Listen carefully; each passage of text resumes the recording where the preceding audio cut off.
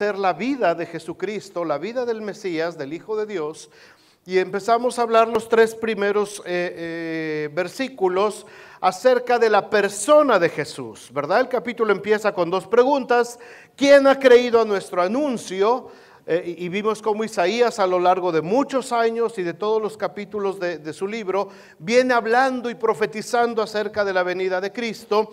Y después dice sobre quién se ha manifestado el brazo del Señor y, y vimos que en nuestras vidas el brazo del Señor se ha manifestado de manera hermosa, dice que va a salir como renuevo delante de él y como raíz de tierra seca. Hablamos acerca del sacerdocio de Cristo y hablamos acerca de esa raíz de tierra seca que representa el trono de David, el reinado de David, que Dios había jurado a David y había hecho pacto con el rey David diciéndole, tu trono va a ser perpetuo por todas tus generaciones.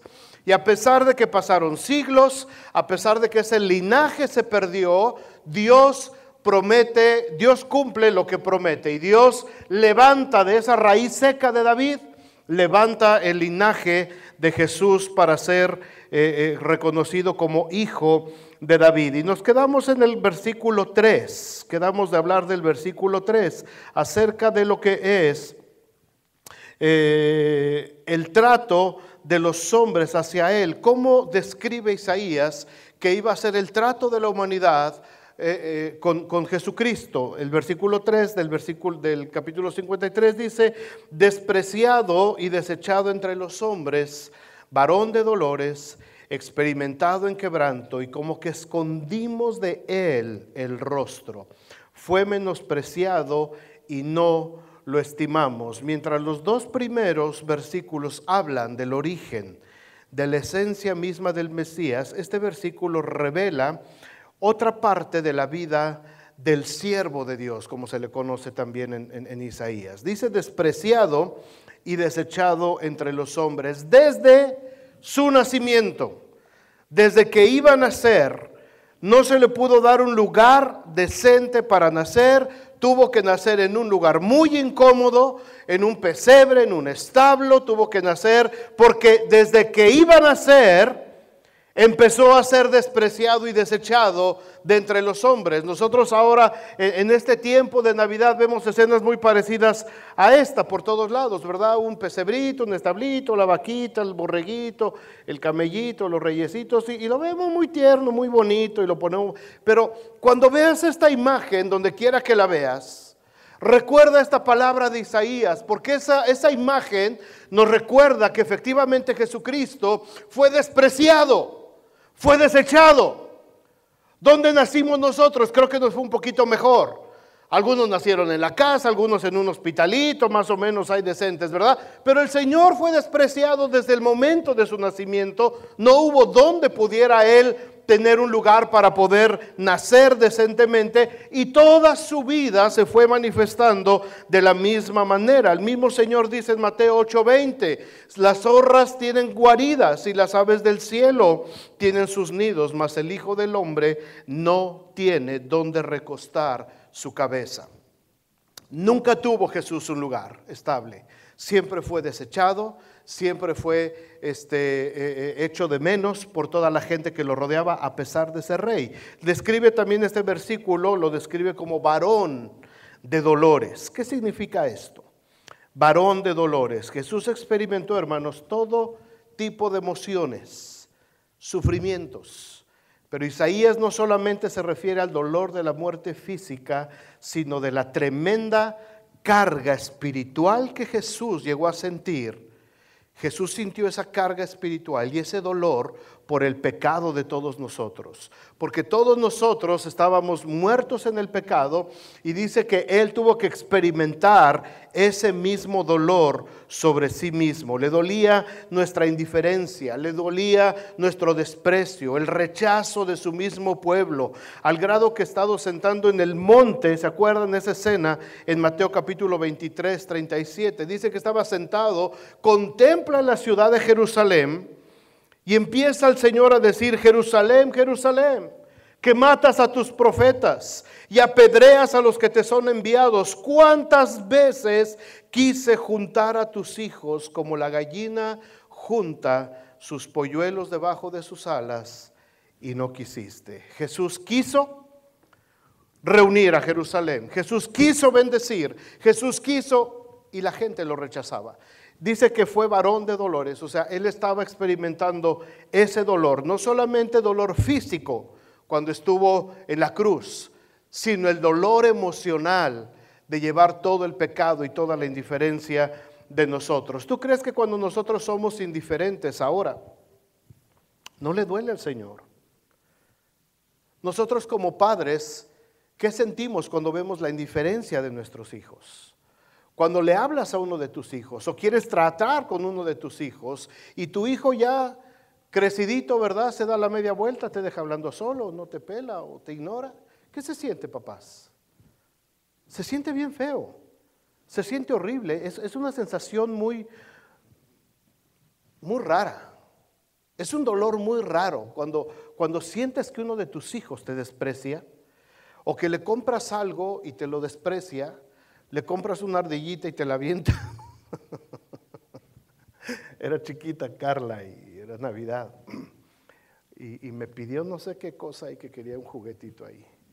Y, pues este, fuimos ya de último para variar, Rosy y yo, a la tienda, ¿verdad? Y recorrimos todas las tiendas, las jugueterías y la cosa esa que quería, pues es lo que estaba de moda, no por ningún lado encontramos.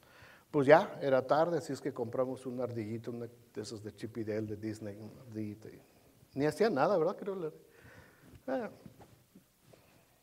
no les platico el resto de la historia, pero me la pusieron de sombrero. Y sabes que al día de hoy lo siento, y mira, todavía se, me, se, me, se me, no sé, siento algo, porque es una sensación muy gacha. Los que son padres lo saben. Los que son padres lo saben. Cuando le quieres dar algo a tus hijos, mamás, ¿qué sienten cuando le hacen con tanto amor una comidita a sus hijos? Y se sientan. ¿Y qué les dice el chamaco? ¡Ah, guacala! no quiero ¿Qué se siente? De momento te enojas y dices, pues come lo que quieras, chamaco grosero. Pero te vas y... Porque un desprecio de un hijo duele demasiado. Imagínense el dolor que tuvo que experimentar Jesús en este versículo que les estoy narrando, cuando Jesús está sobre Jerusalén. ¿Cuántas veces quise juntarte como la gallina junta sus pollitos debajo de sus alas? Y no quisiste, me despreciaste. ¿Cuántas veces el Señor, hermanos, nos llama a nosotros para tener comunión con nosotros y nosotros nos damos el lujo de despreciarlo? Muchas veces el Señor te inquieta eh, a cualquier hora del día o en la noche. A veces hasta te despierta en la madrugada, te despiertas con un versículo, con algo en tu mente. Es Dios queriendo hablar contigo, es Dios queriendo tener un ratito de comunión porque estuvimos tan ocupados todo el día, porque tuvimos tantas cosas que hacer que no le dedicamos ni un minutito al Señor. Y a veces cuando el Señor nos llama y quiere estar con nosotros, nos damos el lujo nosotros de hacerle la grosería a Dios y de despreciarlo. Varón de dolores, eso significa. El Señor todavía sigue sufriendo por nosotros. Después dice experimentado en quebranto. Cuando te haces experimentado en algo es porque ya lo repetiste muchas veces. Aquí hay gente experimentada en muchas cosas, en sus trabajos, lo hacen muy bien, pero tienes que repetirlo constantemente para tener experiencia. Los muchachos que tocan aquí no se estuvieron a tocar y en un minuto empezaron a tocar. Han tenido que estar practica y practica y practica para hacer experiencia los que manejan este, eh, eh, herramientas y todo eso, hay que practicar para hacer experiencia, porque las primeras veces te duele todo, ¿verdad, Héctor? Agarras un marro para romper y el otro día no puedes ni mover los dedos, ¿no? Ahorita yo ando así, mano, como guantecito de así. Este, ¿Por qué? Porque no estás experimentado. Pero una vez que practicas y practicas y practicas, entonces te vuelves experimentado.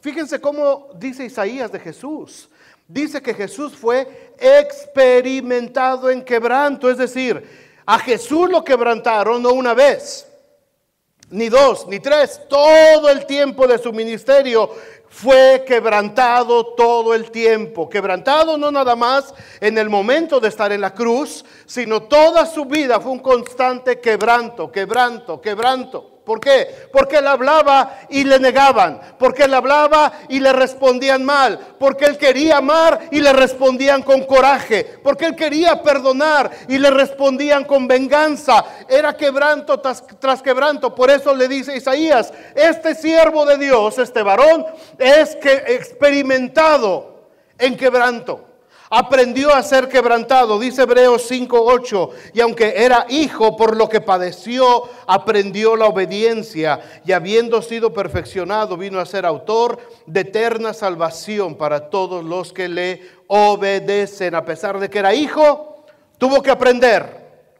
Tuvo que aprender, fue experimentado en quebranto. Y termina Isaías 53.3 eh, eh, diciendo, y como que escondimos de él el rostro fue menospreciado y no lo estimamos. ¿Se acuerdan ustedes aquel momento en los evangelios cuando Pedro se avergonzó de Jesús?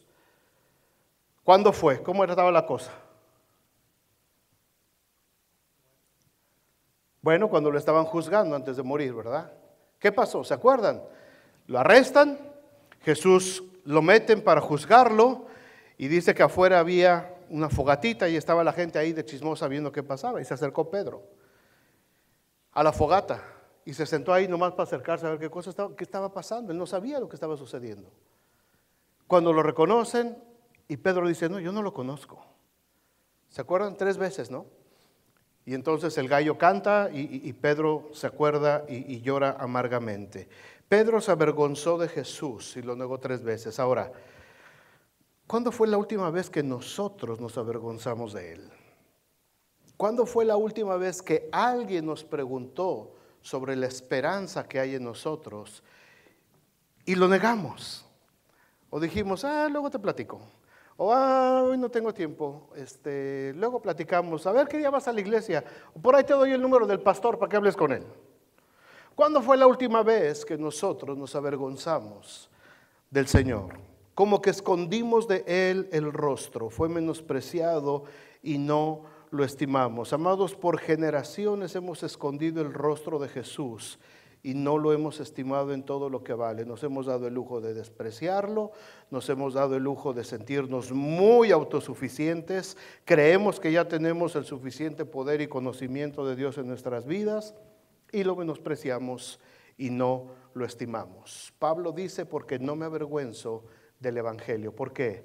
Porque es poder de Dios para salvación. ¿Para quién? Primeramente, para todo aquel que cree, primeramente al griego, al judío y después al mexicano, al centroamericano, al sudamericano, al africano, al americano, a todos los que quieran creer en Él. Dice, dice Isaías, quien ha creído a nuestro anuncio, hermanos, la Navidad es algo más que adornos y fiestas. Se trata de la vida de Cristo que se tiene que impregnar en nosotros. Ahora, ¿cuáles los siguientes tres versículos? El tema de hoy. La misión de Jesús.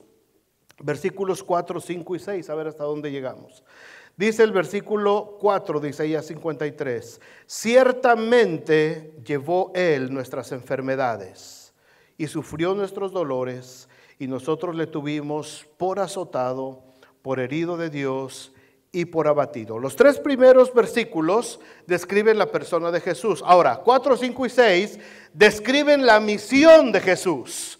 ¿Qué es lo que vino a hacer el Señor? ¿Para qué nació en Belén? ¿Para qué nació en aquel portal? ¿Para qué vino de la raíz de Isaí, hijo de David? ¿Para qué vino Jesús? ¿Cuál era su misión al final de cuentas? Para poder ayudarnos a entender estos versículos de Isaías, hay que entender primero un concepto que se estudia o que se ve, que se lee en Filipenses capítulo 2. Les voy a dar una palabrita dominguera para que salgan ahí diciendo, ah, esto lo aprendí hoy el domingo. La palabra es kenosis, repítanlo conmigo, kenosis. Kenosis es una palabra griega que significa vaciar. Significa despojarse de algo, quitarte de algo. Filipenses capítulo 2 nos ayuda a entender muy bien este pasaje de Isaías acerca de la misión de Jesucristo, cuando eh, dice el apóstol Pablo en el versículo 5 de Filipenses 2. Haya pues en vosotros este sentir que hubo también en Cristo Jesús, el cual, siendo en forma de Dios, no estimó el ser igual a Dios como cosa que aferrarse, sino que ¿qué? Se despojó. Ahí está este verso en acción. Quiere decir que Jesús siendo rey, quiere decir que Jesús siendo el Hijo de Dios, estando en su trono de gloria, él mismo, por él mismo, por decisión de él, él se despojó de su gloria, se quitó su corona de oro, se quitó su manto real, se quitó sus ropajes reales y dice, y dice, y dice Pablo allí en Filipenses, tomando forma de siervo, hecho semejante a los hombres, y después de estar ya en la condición de hombre, se humilló a sí mismo, haciéndose obediente hasta la muerte y muerte de cruz, por lo cual Dios también le exaltó hasta lo sumo y le dio un nombre que es sobre todo nombre, para que en el nombre de Jesús se doble toda rodilla de los que están en el cielo y en la tierra y debajo de la tierra, y toda lengua confiese que Jesucristo es el Señor. Esto significa despojarse. Jesús siendo rey, se quitó de toda su divinidad Jesús siendo el verbo de Dios, como lo llama Juan, la palabra que creaba. En el principio dijo Dios, hágase la luz y la luz se hizo. Ese es el verbo, la palabra que crea las cosas. Jesucristo era esa palabra. Tenía todo el poder, tenía toda la autoridad, pero Él por amor a nosotros decidió despojarse de todo eso se quitó de todos sus derechos como hijo de Dios, se quitó de todo el poder, de toda su divinidad como hijo de Dios y se hizo hombre para nacer en un pesebre, para nacer en Belén, para crecer en medio de gente que necesitaba saber del amor de Dios. Y dice que estando como, como, como siervo, tomó la forma de hombre y después se hizo obediente hasta llegar hasta la misma muerte y muerte de cruz. ¿Cuántas veces en medio del ministerio Jesús pudo haber hecho uso de su divinidad. Cuando vienen a arrestar a Jesús, allí en el huerto de Getsemaní, Pedro se pone muy valiente, saca la espada, le corta la espada al siervo del sacerdote, le corta la oreja, ¿verdad? Era el apóstol torero, pum, salió con oreja. Y le dice Pedro, Pedro tranquilo, ¿tú crees que si yo orara ahorita al Señor, ¿tú crees que mi Padre no me enviaría doce legiones de ángeles a defenderme. O sea, Jesús tenía derecho a todo eso porque era hijo de Dios. Pero él no hizo uso de ese derecho por amor a ti y por amor a mí. Por amor a todo aquel que quiera creer. Ciertamente llevó él nuestras enfermedades. Cuando entendemos este concepto de, Pablo, cuando eh, eh, este concepto de kenosis, de que el Señor renuncia a todo lo que tiene por amor a nosotros. No sé de aquí quién sea rico millonario o venga de una familia de ricos millonarios, no sé, a lo mejor alguien por ahí. No nos voy a pedir dinero, no se preocupen, nomás eh, eh, se ve mucho en las películas y se ve mucho en las, en las novelas, ¿no? El, rico aquel que, de pronto decide dejar todo por amor a la, a la criada, ¿no? De, la novela. Y, eso es despojarse de, eso es despojarse de por amor. No, no les estoy recomendando que hagan novelas, digo, pero si por ahí alguien vio una novela de esas, de, eso se trata. Ahora, esto por supuesto es algo mucho, muy superior. El que Jesús haya renunciado a su lugar como Hijo de Dios para venir a tomar nuestro lugar en la cruz, habla de esto. Eh, eh, versículo 4, Isaías 53. ¿De qué se trata la misión de Jesús? Son tres versículos. El primero es, ciertamente llevó Él nuestras enfermedades, sufrió nuestros dolores y nosotros le tuvimos por azotado, por herido de Dios y abatido. La primera parte de la misión de Jesús sanar la enfermedad que nos separó de Dios. Él vino a sanar la enfermedad que nos separó de Dios. La enfermedad espiritual nos separó de Dios, nos alejó de su presencia, tuvimos que ser destituidos de la gloria de Dios y muchas veces, o, todos nosotros, estamos muy preocupados y muy afanados, y, toda la sociedad, por la salud física. ¿Por qué? Porque pues, es un azote, hay hospitales, hay clínicas, hay médicos. Este, eh, eh, la enfermedad es un azote para nosotros, para toda la humanidad. Se gastan miles y miles de millones y millones de dólares en, medicina, en, estudios, en, hospitales, en emergencias, en todo eso, porque hay una, hay una raíz tremenda de enfermedad sobre toda la humanidad. Y todos estamos expuestos a estar enfermos. No sé de aquí quién nunca se ha enfermado, a lo mejor hay alguien, pero, pero todos pasamos por un proceso de enfermedad. Todos tenemos que vivir sujetos. ¿Por qué? Porque Dios allá en el principio tuvo que maldecir la tierra a causa del pecado. El plan perfecto de Dios no incluye enfermedades, hermanos. Cuando Dios establece el huerto del Edén, cuando Dios pone en su perfecto plan todas las cosas, no había enfermedad. No existían los virus, no existían las bacterias, no había deformidades este, genéticas, no había nada de eso. El plan de Dios era perfecto. En el plan de Dios no existía ningún tipo de enfermedad. La, la simbiosis del planeta era totalmente perfecta no había lugar para enfermedades. Cuando viene la destrucción, cuando viene el pecado, cuando viene el que el Señor tiene que maldecir la tierra, después del diluvio, la tierra se inclina dos grados en su eje central. Y esos dos grados trajeron una descomposición total al planeta.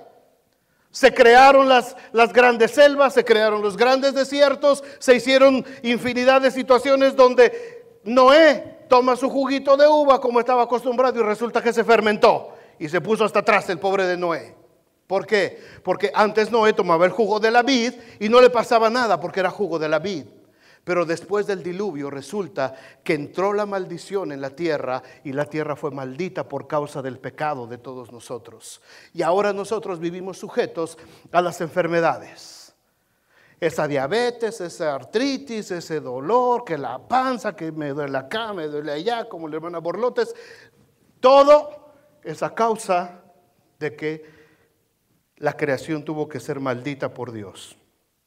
Pero dice Isaías capítulo 4, ciertamente llevó Él nuestras enfermedades y sufrió nuestros dolores.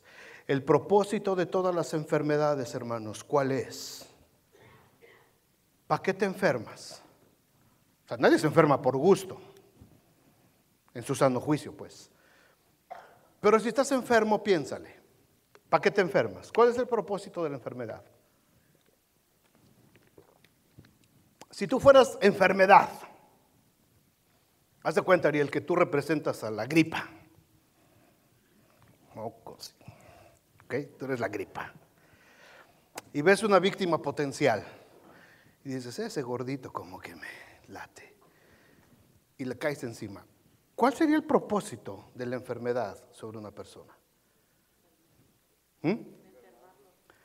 Enfermarlo, lastimarlo, destruirlo, bajarle los ánimos, hacerlo pedazos.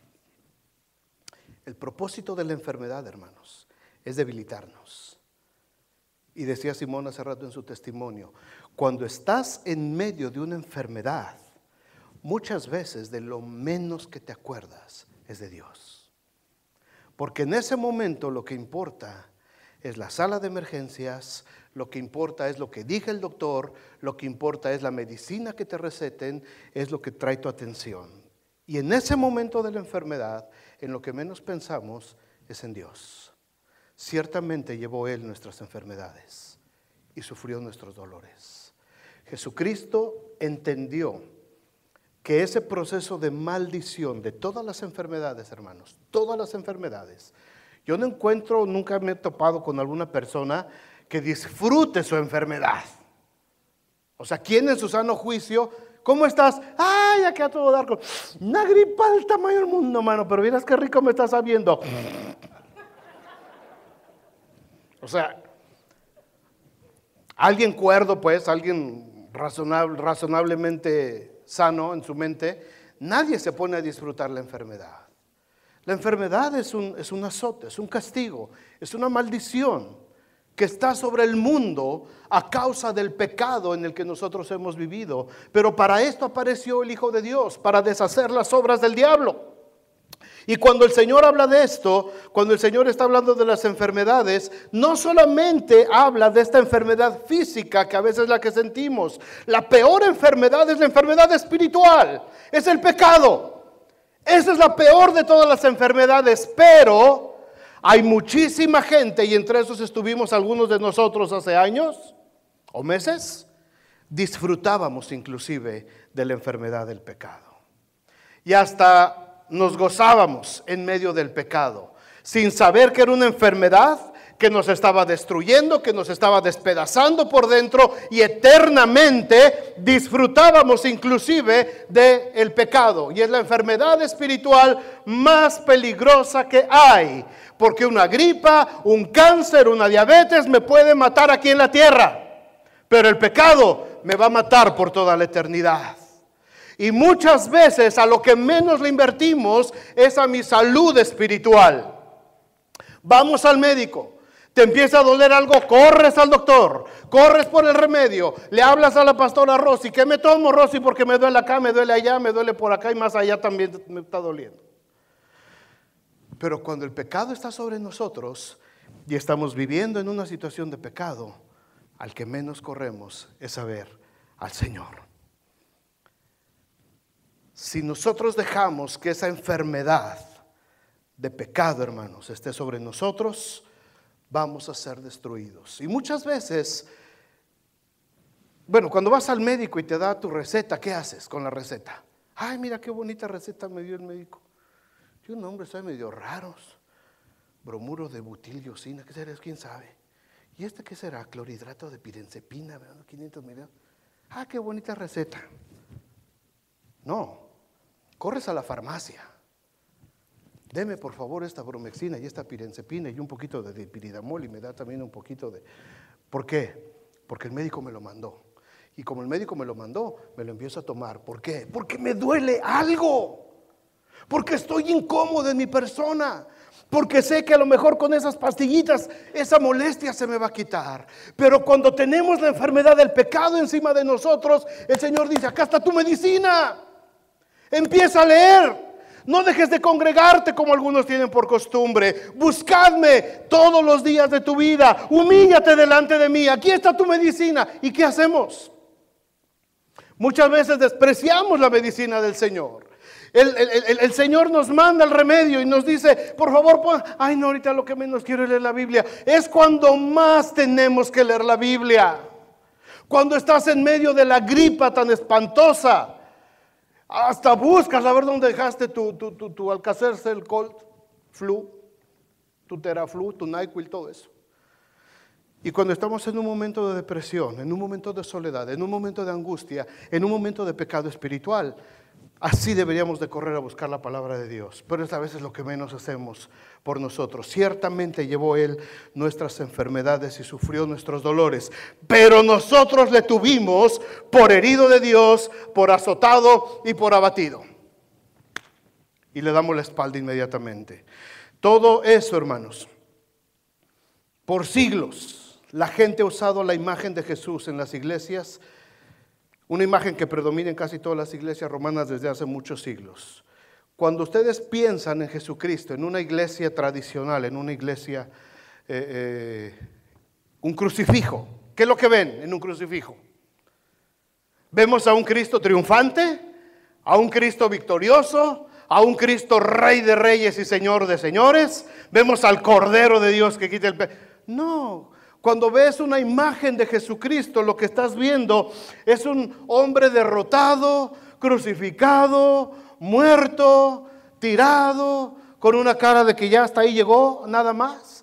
Y muchas veces esta es la imagen que nosotros tenemos, la imagen, la imagen que habla aquí Isaías, azotado, herido por Dios, abatido, y muchas veces pensamos que esta es la imagen del Dios, del Cristo en el que nosotros creemos. Por eso nosotros no usamos crucifijos.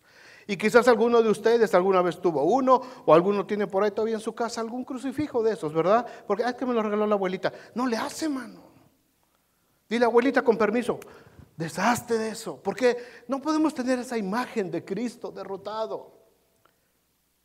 Si Él llevó mis enfermedades, si Él sufrió mis, mis dolores, dice, nosotros le tuvimos por azotado, por herido de Dios y abatido. ¿Por qué lo vamos a seguir conservando de esa manera?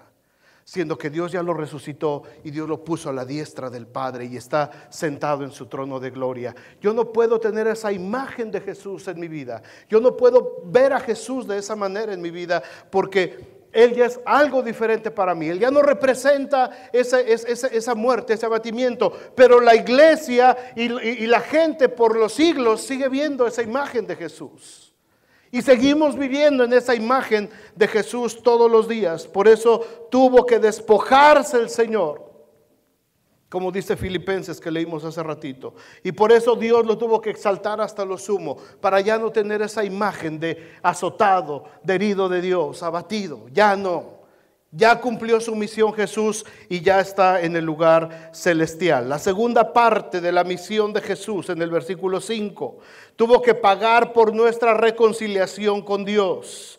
Dice el versículo 5, mas el herido fue por nuestras rebeliones, molido por nuestros pecados, el castigo de nuestra paz fue sobre él y por su llaga fuimos nosotros curados. Este versículo lo usamos mucho cuando estamos afligidos y cuando estamos en, este, en enfermedad.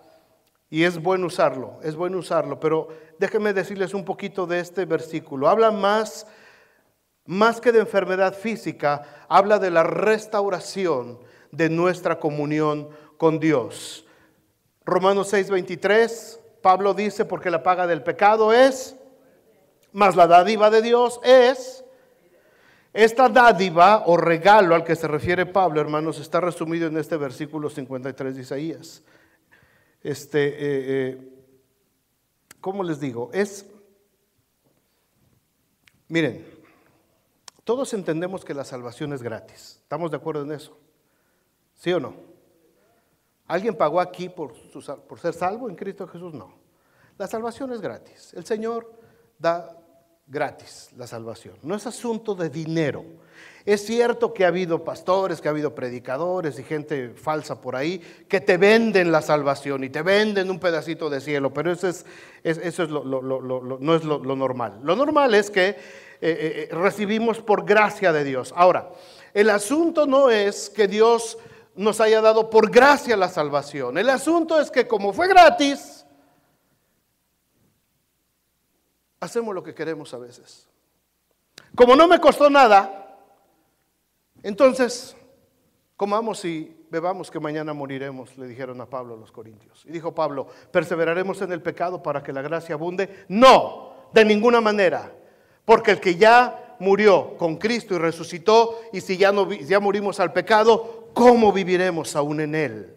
Ahora, la salvación es gratis para nosotros, pero a Cristo le costó.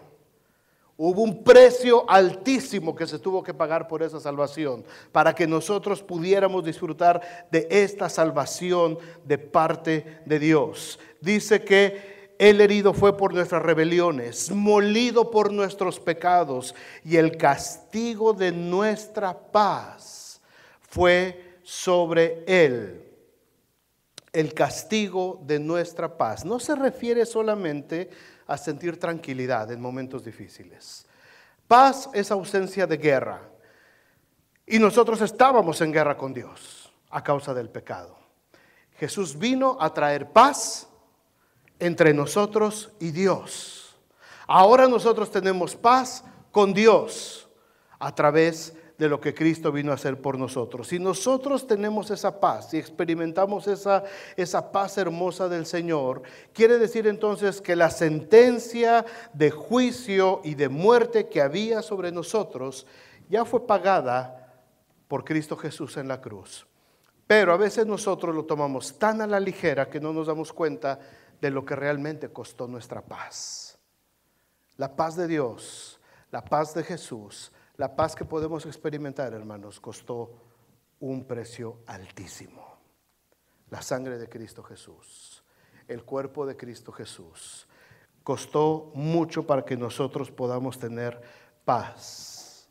Cuando dice aquí este versículo que el castigo de nuestra paz fue sobre Él, no solamente es esa sensación de sentirnos tranquilos, sino esa reconciliación que tenemos ahora con Dios. Podemos sentir esa paz, podemos sentir ese momento tan sublime como había un himno antiguo, ¿te acuerdas Benji? En el seno de mi alma una dulce quietud se difunde embargando mi ser, una paz infinita que solo podrán los amados de Dios comprender. Esa paz, hermanos, que se logra sentir aún en situaciones extremas.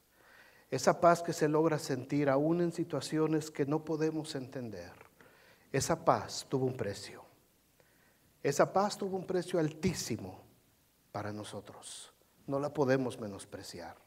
No podemos hacerla a un lado. No podemos decir es que yo necesito otra cosa porque esto no es suficiente para mí. Yo no puedo hacer eso porque la paz de Cristo, la paz que Él vino a darme, significa mucho más, mucho más de lo que yo puedo ni siquiera alcanzar a imaginar. Por eso Jesús le dijo a sus discípulos, esta paz, la paz que el mundo no entiende, la paz que nadie puede comprender, es la paz que yo les quiero dar a ustedes. Y esta paz, hermanos, la experimenta el cristiano. Y muchas veces cuando estás en un problema difícil te dicen, ¿cómo puede ser que estés tan tranquilo? ¿No te duele? ¿No te importa? Por supuesto que me duele, por supuesto que me importa. Pero la paz de Dios, que sobrepasa todo entendimiento, es la que está guardando mi corazón en Cristo Jesús. Y yo puedo llorar y puedo expresar mis emociones, pero la paz que está dentro de mí, esa nadie la puede mover, hermanos. Nadie te la puede mover. Nadie te la puede arrebatar. ¿Quién me separará del amor de Dios?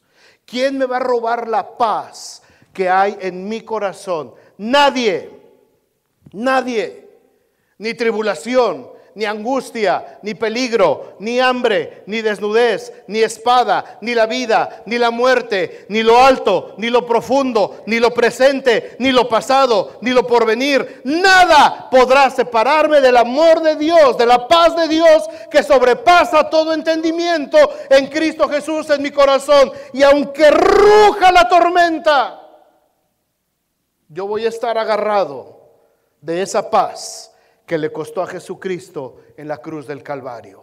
Yo voy a tener esa paz en mi corazón y no se va a mover. Mi carne puede debilitarse, mi carne puede flaquear, pero mi espíritu está agarrado de esa paz que costó la sangre de Cristo Jesús, gota a gota, por mi redención. El Señor vino a darnos esa paz no solamente vino a reconciliarnos con Dios, no solamente vino a erradicar la enfermedad, vino también a mostrarnos el camino de la vida, versículo 6. Todos nosotros nos descarriamos como ovejas, todos, todos. Y el que diga que yo no, mientes. Todos nos descarriamos como ovejas, cada cual se apartó por su camino, mas Jehová cargó en Jesucristo en su siervo, en el Mesías, el pecado de todos nosotros. Todos agarramos cada quien por nuestro camino. La vida de cada uno, hermanos, desde generaciones atrás, tomó diferentes caminos. Familias enteras transitando por el camino de los odios, las venganzas, los rencores. Otros luchando contra otros caminos a lo mejor no tan violentos, pero igualmente apartados del Señor. Caminos de incredulidad, caminos de riquezas, sabiduría humana. Cada quien se apartó por su camino. A uno les dio por una cosa, a otro les dio otra, pero todos a final de cuentas nos desbalagamos. Cada quien agarró por donde la gana le dio. Dice, pero Jesús vino a enseñarnos un camino, hermanos. Un solo camino. Jesucristo dijo, yo soy el camino. Tú agarraste por tu camino, dice Jesús, pero yo soy el camino, yo soy la verdad y yo soy la vida. Todos anduvimos dispersos, aún viviendo dentro del cristianismo. Mucha gente que creció dentro de una iglesia cristiana también ha llegado a desviarse del camino por haberse olvidado de seguir escuchando cada día la voz del buen pastor Jesucristo. Las, las, ovejas, los borreguitos son muy distraídos. Me encantan los documentales de National Geographic y todos esos. Aprende uno muchas cosas ahí. Y, y, las ovejas tienen características especiales. Y una de ellas es que son distraídas como ellas solas. Tienen fama. Las ovejas, y, y no, no, por algo el Señor siempre nos está comparando con ovejas, ¿eh? Y nos llama rebaño, nos llama su rebañito. Y Pedro, apacienta mis ovejitas. Y Pedro, te encargo los chivos, no los chivos, digo, los, ¿cómo se llaman los que son chiquitos?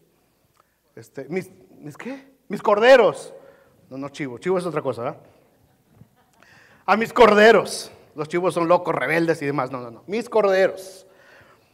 Este, la Biblia nos compara muchas veces con, este, con, este, animalito, pero una de las características que una vez estaba viendo yo es que eh, la oveja, donde lo pones que hay pasto, ¡rum! clava la cabeza en el pasto y se agarra a comer. no levanta la mirada para nada, no se da cuenta para dónde va, no se da cuenta lo que hay alrededor. Mientras haya pasto, la ovejita va comiendo, comiendo, comiendo, comiendo, comiendo. Y van avanzando las manadas y, van agarrando. Y si de pronto aquí hay un pedazo medio seco, eh, este, y, de aquí está verdecito y acá está toda la manada, yo como ovejita agarro y yo me voy por donde está el, verdecito sin fijarme para dónde voy. Ahora, otra, otra peculiaridad de estos animalitos es que ellos distinguen la voz del que los cuida. Ellos perciben muy bien la voz del que los cuida. Yo no entendía por qué siempre los pastorcitos, cuando íbamos de día de campo allá en, las montañas de Hidalgo, precioso Hidalgo, Pachuca, Miquilpan, todo eso, y había gente cuidando sus borreguitos, los pastorcitos, no sé si ustedes lo han visto, pero los pastorcitos siempre andan o silbando, o cantando, o platicando, o haciendo un ruidito. Porque la oveja se acostumbra a escuchar ese ruidito, o ese silbido, o esa voz, o esa cancioncita. Entonces, mientras la oveja se puede distraer acá, pero está escuchando. Pero cuando de pronto deja de escuchar el sonido que le es familiar por su pastor, inmediatamente se voltea y ve dónde está y trata de regresar inmediatamente. Desgraciadamente muchas veces se da cuenta demasiado tarde y cuando ya se da cuenta es porque ya tiene un enemigo encima, hay un depredador que lo está cazando o ya se quedó atorado en un lugar donde ya no puede salir. E, eso le pasa a las ovejas, eso le pasa a los borreguitos. De la misma manera, por eso dice eh, Isaías, cada uno de nosotros se apartó como oveja, cada quien por su camino, cada quien agarró el camino que, le parecía mejor, cada quien le caminó por donde pudo. Por eso Dios compara mucho a su pueblo con este rebaño de ovejas. El Salmo 16, 11 dice, me mostrarás la senda de la vida, en tu presencia y plenitud de gozo, delicias a tu diestra para siempre. Hace poquito vi una, una entrevista, vi una entrevista que le hicieron a, a un músico tremendo, se llama Abraham Laboriel, bajista ya está grande, pero él participó en muchos proyectos. Y es un hombre que transmite lo que, lo que, lo que Dios ha hecho en su vida, Abraham Laboriel. Este, y lo está entrevistando un, salmista moderno, bueno, de, los, de, los, de la nueva generación. Y le dice, ¿sabes qué es el problema de los cristianos? Le dice este hombre, dice, que de pronto dejamos de buscar a Dios porque creemos que ya lo conocemos, creemos que ya con lo que tenemos de parte de Dios es suficiente y dejamos de escuchar a Dios. Y dice, hay una historia de un hombre que iba en un avión. Dice, y este avión empezó a tener mucha turbulencia eh, en el aire. Y este hombre empezó a clamar a Dios ahí y dijo, Señor, por favor, haz algo, ayúdanos. Eh, por favor, Señor, en tu nombre necesitamos que hagas algo, sálvanos de esto. Yo no quiero pasar esta situación, no quisiera que este avión se cayera. Y dice que eh, eh, empezaron, él empezó a orar y sintió la voz de Dios que le dijo, ¿te acuerdas cuando yo hablé a la tormenta y la calmé? Sí, Señor, sí me acuerdo, iban los discípulos en la barca y tú dijiste que la tormenta se calmara. Y dice que sintió en su, en su espíritu que, Dios le dijo, háblale a la tormenta tú ahora. Y dice que él habló y dijo, te reprendo en el nombre de Jesús, enmudece. Y dice que el vuelo empezó, se normalizó y siguió normal. Más al rato otra vez empezó otra zona de turbulencia y él empezó a reprender al viento y empezó a, a clamar al viento y a tratar de reprenderlo y no, pasaba nada y no pasó nada y no pasó nada. Después de mucho tiempo dice que empezó a orar otra vez. Dijo, Señor, ¿por qué funcionó la primera vez y ahorita no? La segunda ya no funcionó.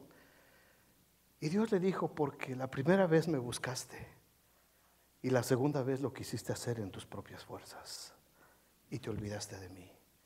Te, olvidaste de la fuente de donde proviene tu poder. Y hermanos, este es un peligro tan grande para el cristiano. A veces nos creemos tan autosuficientes nosotros. Pensamos que ya no la sabemos de todas, todas. Pensamos que como ya conocemos mucho de la Biblia y hablamos mucho de la palabra de Dios y vivimos en cierta paz, pensamos que ya no necesitamos estar yendo constantemente a la fuente.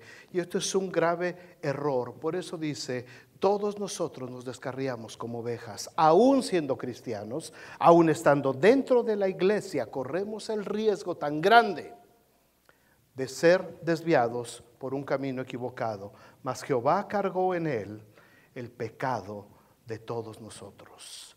El Señor cargó en él el pecado de todos nosotros. Me encantó el canto que cantaron ahorita los chicos. Le voy a pedir a ver si háblenles por ahí, por ahí andan ya listos los muchachitos. ¿Ya vienen? Quiero que lo oigan este canto y vamos a terminar con eso, pero este, de cualquier manera vénganse, ven ustedes para cerrar la reunión. Este canto que cantaron de perdonados, yo quiero que ahorita que ellos lo canten, por favor, escuchen lo que dice este, este, este, este canto. Y a mí me impresiona mucho cuando ellos hacen con su manita así, porque es cuando Jesús dijo, consumado es. Y esos golpecitos en sus manos significan los clavos que fueron clavados en las manos de Cristo. Cuando yo leo lo que Isaías habla acerca de la misión de, Jesús para venir a darnos salvación, hermanos, para venir a darnos paz, para venir a reconciliarnos con Dios, para venir a abrir un puente de comunicación ahora con Dios, no lo podemos menospreciar. Por eso Isaías advertía y dice, Él va a ser menospreciado por su pueblo, Él va a ser olvidado por su pueblo, nadie le va a hacer caso, lo van a tener por herido de Dios y abatido. Mas el herido fue por mis rebeliones. Y cuando la cruz lo marcó, cuando los clavos fueron puestos en sus manos, cuando su cuerpo fue molido, cuando él tuvo que expresar, consumado es, lo logré, la misión que me diste Señor por hacer, la hice. Y dice que en ese momento expiró y entregó el Espíritu por amor a nosotros, amados, por nosotros a lo que nosotros estamos viviendo, por amor a lo que nosotros estamos ahora disfrutando. Pero cuántas veces como cristianos ya estamos en el Señor, ya gozamos de las bendiciones de Dios y nos olvidamos de aquel que nos da la vida y aquel que nos da la bendición. Y estamos caminando en automático como cristianos y estamos caminando todos los días disfrutando de las bendiciones de Dios. Y muchas veces nos sentamos a la mesa a comer y ni siquiera somos buenos para decir gracias Señor por este alimento. Porque decimos, es que ya le di gracias a Dios.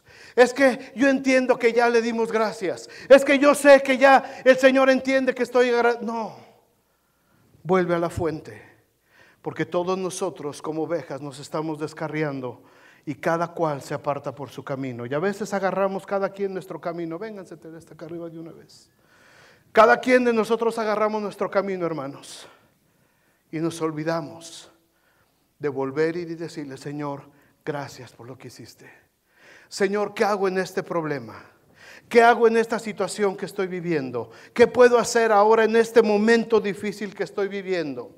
No te pongas a reprender y echar fuera demonios. No te pongas a aconsejar a nadie. No te pongas a darle consejos a nadie antes de ir a la fuente. Porque nosotros los que estamos sirviendo al Señor, a veces nos llega a pasar, a mí me llega a pasar. Son tantas personas a las que tienes que estarles hablando todos los días y, aconsejando y a veces son problemas muy similares que dices, pues le voy a decir lo mismo que le dije al de hace rato, porque es la misma bronca. No, no. Señor, ¿qué es lo que quieres que le diga a esta persona? Señor, ¿qué es lo que necesita esta persona? Señor, ¿qué es lo que tú vas a hacer en la vida de esta persona? No importa que los problemas sean los mismos. Dios actúa de manera diferente en cada uno de nosotros. Pónganse de pie, por favor. Pónganse de pie. Vénganse, Benji, también, por favor, muchachos de alabanza. Quiero que escuchen este canto, este, esta cancioncita que los chicos han cantado. Y a lo mejor la pasamos por alto, pero cuando la estaban cantando yo estaba pensando en este capítulo 53 de Isaías. Y es algo, es algo tremendo. Cántenla si quieren y, y, y, y escuchen la letra de lo que habla esta canción. Ya, Carla, gracias.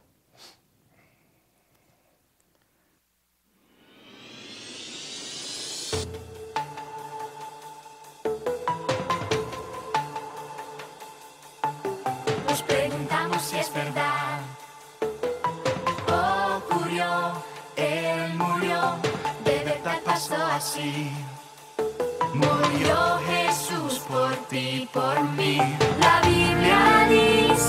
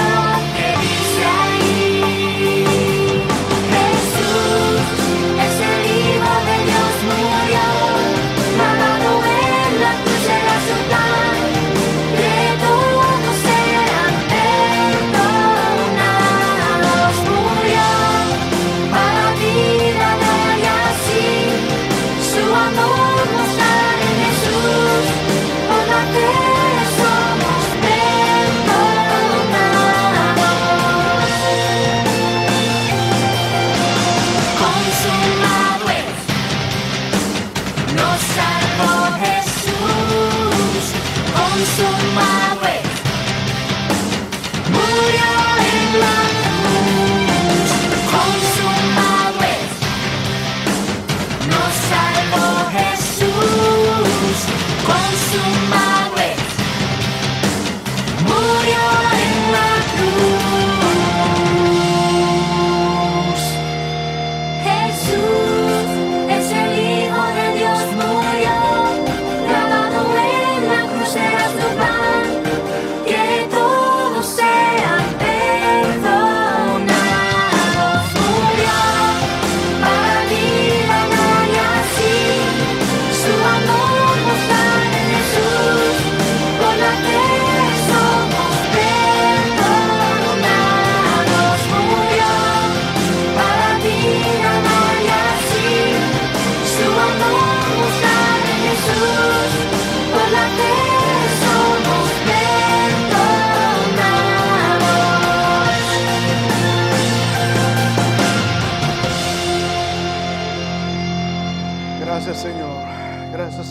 porque ciertamente, ciertamente llevaste tú nuestras enfermedades y sufriste nuestros dolores. Y nosotros te tuvimos por herido de Dios, por azotado y abatido. Mas tú molido fuiste por nuestros pecados y nuestras rebeliones, y el castigo de nuestra paz fue sobre ti. Para que yo pudiera disfrutar de esta paz que tengo en este momento en mi espíritu. Tuviste que haber muerto en esa cruz. Para que yo pudiera poder tener, Señor, esta libertad de la que gozo ahora. Hubo un precio muy alto que pagar. Hubo un precio altísimo que, tuve que, pagar, que tuviste que pagar, Señor. Todos nosotros nos descarriamos como ovejas. Cada cual se apartó por su camino, mas Jehová cargó en él el pecado de todos nosotros. Todos nosotros, todos nosotros, todos nosotros. Si cambias esa palabra de todos nosotros por decir yo, yo me descarrié como oveja y tomé caminos que no me convenían. Tomé caminos que me trajeron tristeza, muerte, destrucción. Mi familia tal vez transitó por caminos que ni siquiera tenían nada que ver con Dios. Y esos caminos trajeron dolor, pena, destrucción a mi familia. Mas Jehová cargó en él el pecado de todos nosotros. Creo que es un hermoso tiempo para romper, para romper cualquier cadena familiar que venga en nuestro pasado.